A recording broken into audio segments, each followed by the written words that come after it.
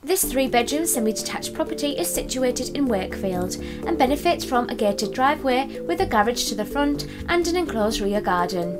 Internally, the lounge boasts a box bay window to the front and a feature fireplace with a living flame gas fire housed in a decorative wooden surround. Doors lead into the dining room, which has space for a table and chairs, and a window which overlooks the rear and side elevations, while the kitchen offers a range of wall and base units, an electric oven, and a four ring gas hob.